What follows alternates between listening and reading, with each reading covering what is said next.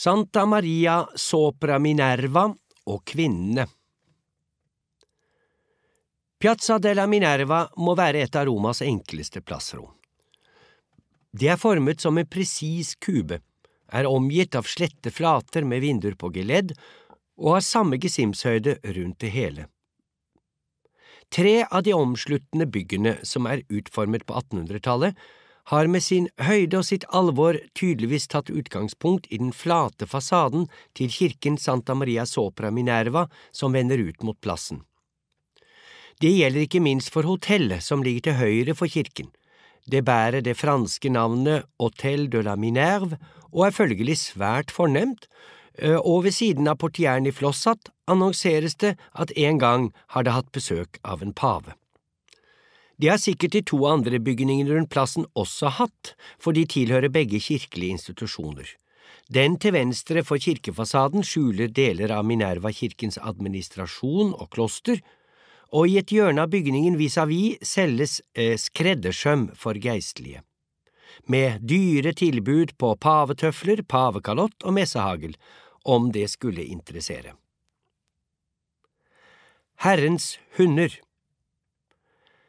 Kirken Santa Maria Sopra Minerva er bygget av dominikanerne i perioden 1280 til midt på 1300-tallet. Dominikanerne er den katolske kirkes prekenbrødre og intellektuelle, og ble grunnlagt som et ordenssamfunn omtrent samtidig med de milde fransiskanerne på begynnelsen av 1200-tallet. Dominikanernavnet kan være tatt fra San Dominicus, som var ordenens grunnlegger.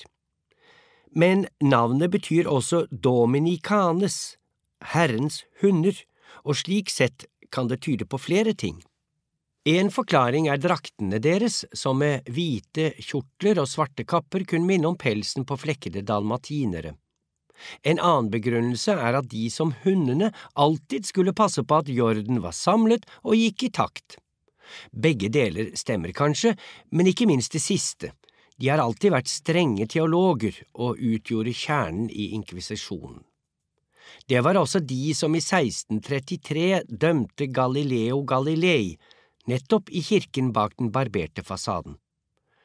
Han slapp unna med husarrest, i motsetning til dominikaneren Giordano Bruno, som ble brent 33 år tidligere for den samme forseelsen. Både han og Galilei sa nemlig at solen var sentrum i universet. Det var jorden som gikk rundt solen, ikke omvendt, slik Aristoteles hadde hevdet, og som kirken var enig med ham i. Nå var nok Bruno mer sta, og i tillegg hadde han elskerinner, noe Galilei, som var gammel og trett og litt feig, ikke hadde. Dessuten var Galilei en venn av paven, og Urban den åttende ba ham være så snill ikke å lage enda flere problemer for kirken som fra før av hadde både protestanter og dårlige finanser å stri med.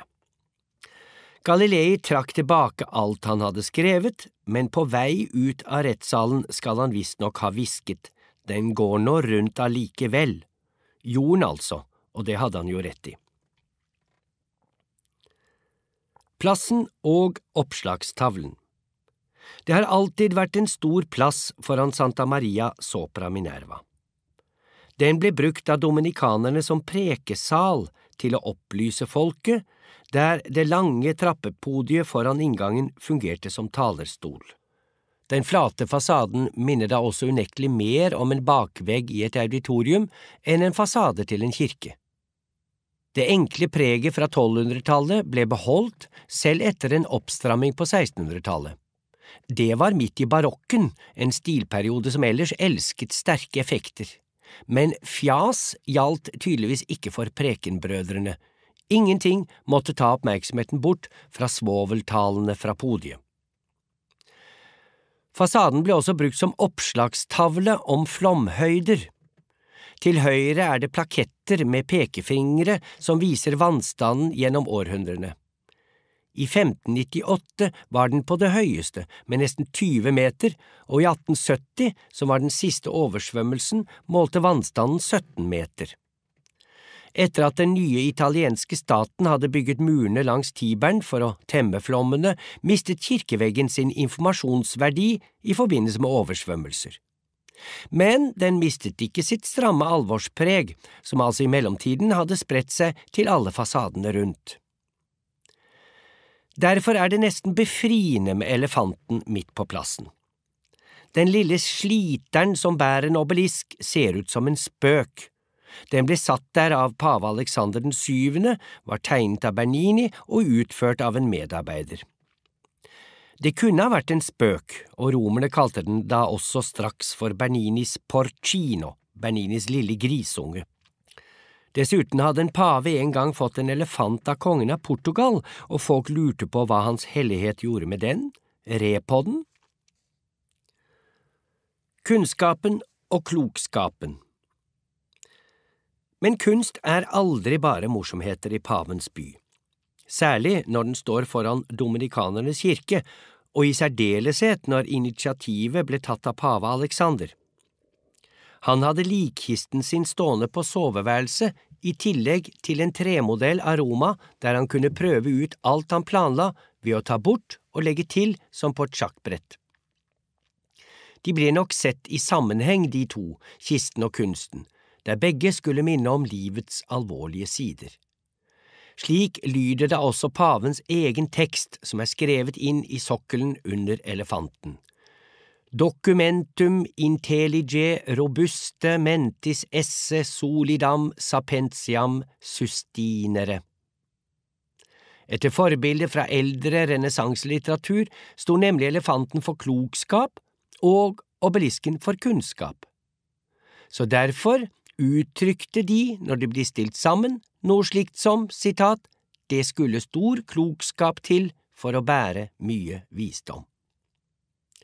Og det er nok sant at det er forskjell på intelligens og klokskap, og at det er best å ha begge deler, kanskje særlig det siste. Denne livsvisdommen ble overlatt til Bernini og omtolket til kunst. Den lille elefanten er som en boksehanske som spenner opp mot obelisken. Obelisken står presis som matematikk mot den krumme muskelen under, og på sadelen, der obelisken treffer ryggen, er det masker som okker seg under presset. For å samle formen bøyer elefanten sitt godmodige hode inn mot kroppen, på samme måte som de fotside sadelteppene tetter igjen åpningen mellom bena. Selv ville Bernini gjerne ha denne åpningen for å vise at han greide å la en tung obelisk bli båret over et hull, men det ville ikke dominikanerne. Da ble kunstneren fornærmet og vendte elefantbaken mot klosteret deres. Selvfølgelig ikke mot kirkefasaden, for da ville vel paven ha reagert. Isis, Minerva og Maria den rødlige obelisken på elefantryggen ble funnet i bakhagen til kirken under en ombygging på 1600-tallet. Faktisk ble det funnet to, og den andre topper fontenen på plassen foran Pantheon. Begge tilhørte et egyptisk Isis-tempel som lå inntil et Minerva-tempel som hadde gitt Dominikanerkirken navnet Sopra Minerva over Minerva. Allerede på 700-tallet ble det bygget en liten kirke over det nedraste tempelet, som munkene utvidet 700 år senere. Både Isis og Minerva var kvinnelige guddommer fra antikken som begge hadde egenskaper til felles med kristendommens Maria. Minerva, som var romernes variant av grekernes Atene, var jomfrugudinnen for visdom og kunnskap. Isis var egypternes himmeldronning og de fattige og sakmodies forsvarer. Isis ble fremstilt sittende med sin lille sønn Horus på fanget.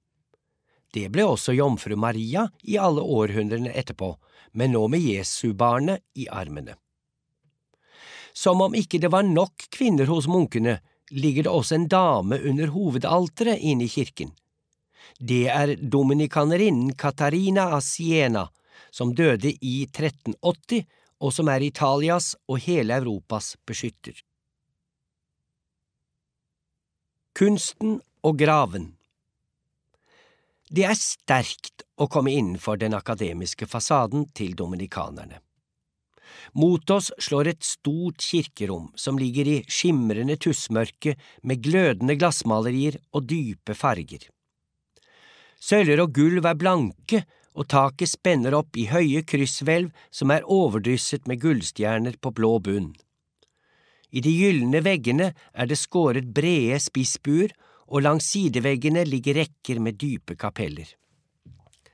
Dette er Romas eneste gotiske kirke, som er den stilen som utviklet seg nord for Alpene i middelalderen, og som romerne ellers betraktet som barbarenes formspråk. Romerne holdt mer på basilikatypen fra keiser Konstantins tid på 300-tallet. Men arkitektene kom fra Firenze og tok med seg forbildet derfra, mens de dype fargene skyldtes en storoppussing i 1850-årene. I enden av rommet ligger den hellige Katarina, i en belyst steinsarkofag under høyalteret.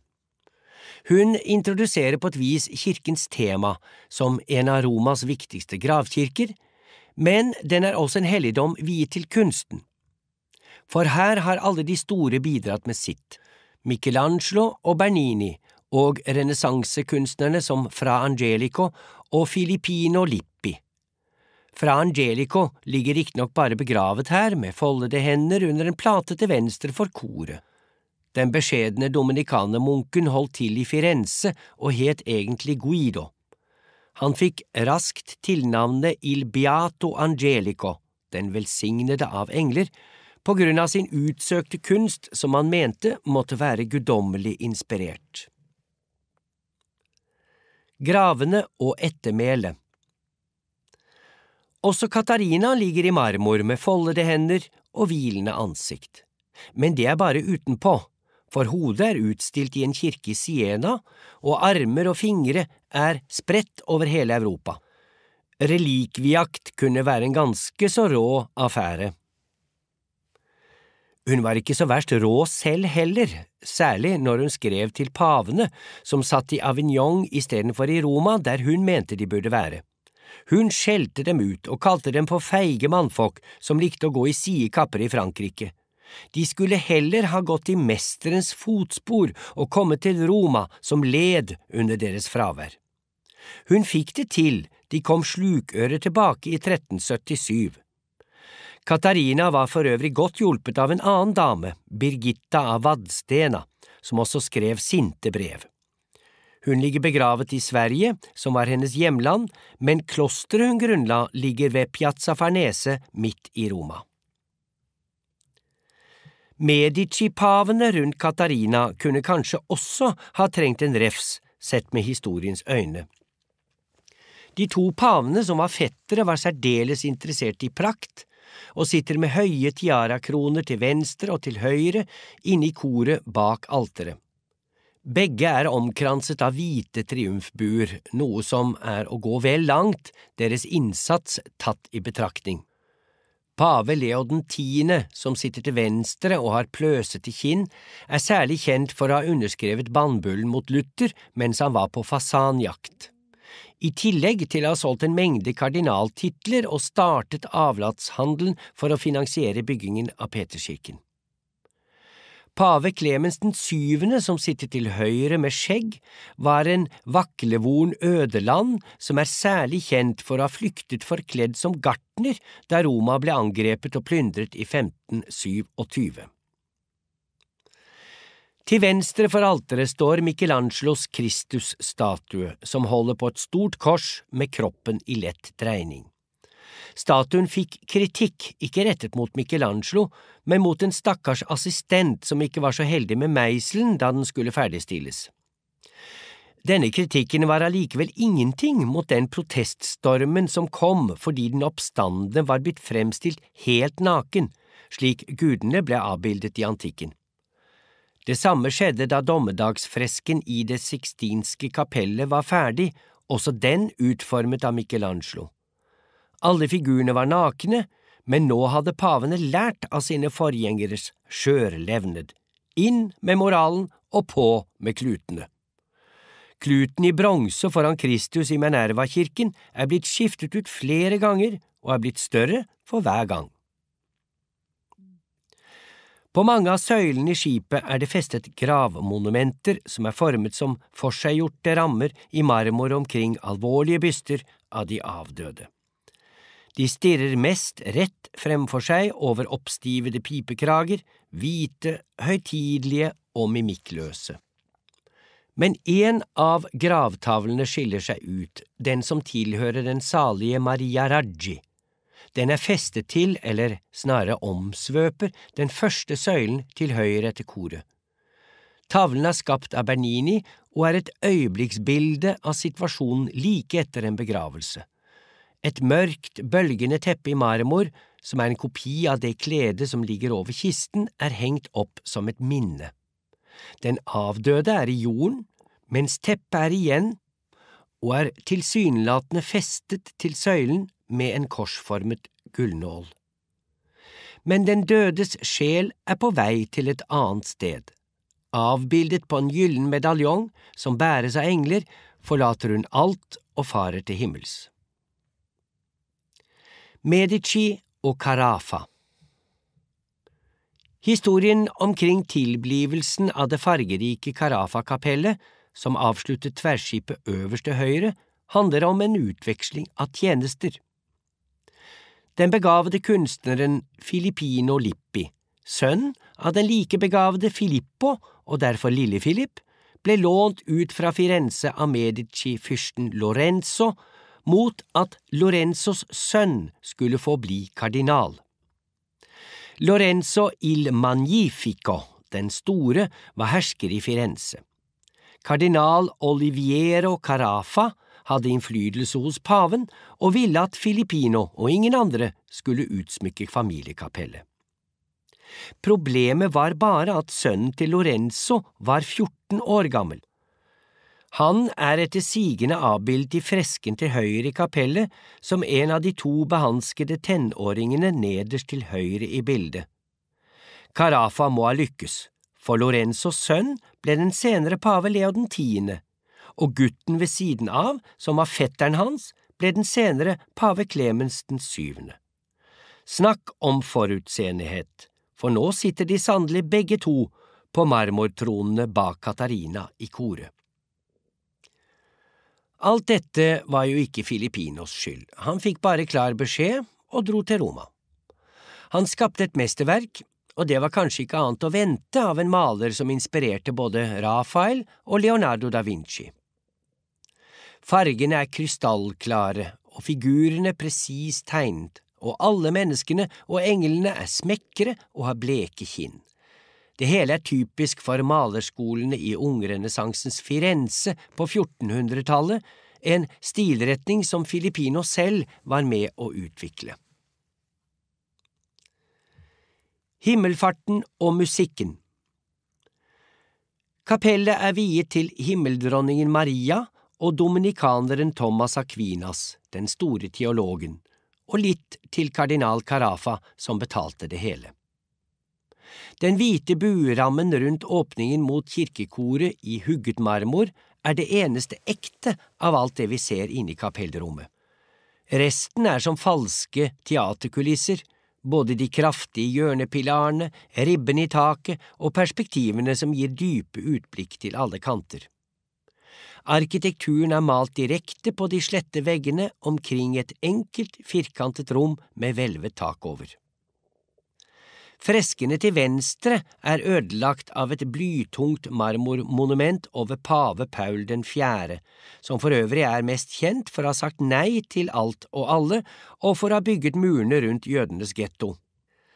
Til høyre ser vi Thomas Aquinas som sitter tykk og trinn på sin lærerstol, omgitt av arkitekturkulisser og folk fra samtiden, inkludert paveguttene nederst til høyre. Rett frem åpner det seg et stort landskap med en intens blå himmel oppunder buen. Nederst blant klipper og trær i brungrønne farger befinner det seg en del oppspilte menn som kneler og peker og slår seg til hodet. Det er apostlene som bivåner Marias himmelfart, der hun svever på en sky båret av engler. Maria er større enn alle andre og står som en blek ballerina og kaster et overbærende blikk ned på all oppstandelsen under seg. Hun ser ut som om hun klapper forsiktig i hendene, noe hun selvfølgelig ikke gjør, men er ved å folde dem. Skyen hun heves på, er heller ingen sky, men en myriade av små engler, der to av dem vifter begeistret med røkelseskar av gull. Det hele skjer for full musikk. Som en seierskrans av toner løper det engler rundt Madonna med trommer, basuner, sekkepipe og fioliner. Og de løper virkelig, ja, de danser og hopper i flagrende gevanter, som jo engler skal gjøre, for de er jo en del av luften og fulle av sjel. Maria og tiden Årsaken til underet i himmelen over sees på scenen i altertavlen under. For det er en scene.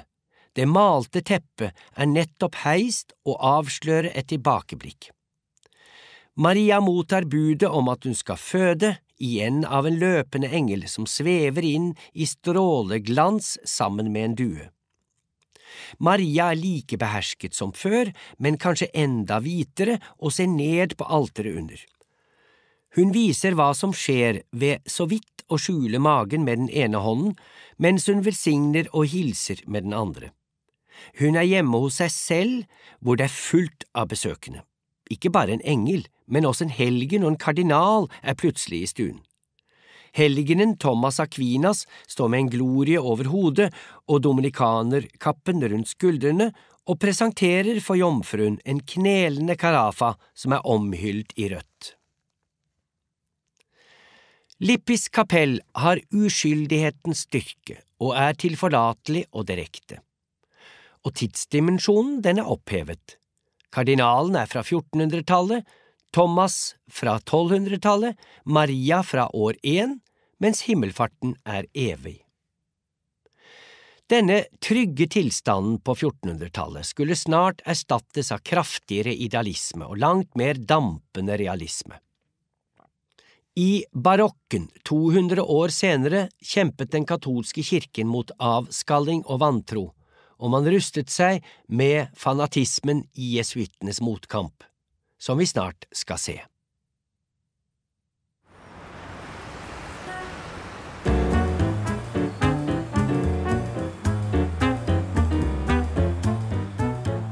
Gå ut av kirken til venstre for koret, med de store barokksarkofagene i svart og hvit marmor.